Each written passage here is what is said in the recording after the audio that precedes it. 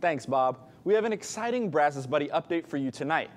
Last week, we featured lab mix named Macaroni on our newscast. He was adopted from the Aggieland Humane Society today by two lucky ladies. His new name is now Milo. What a cutie. Stay tuned for next week's Brazos Buddy, who will also be from the Aggieland Humane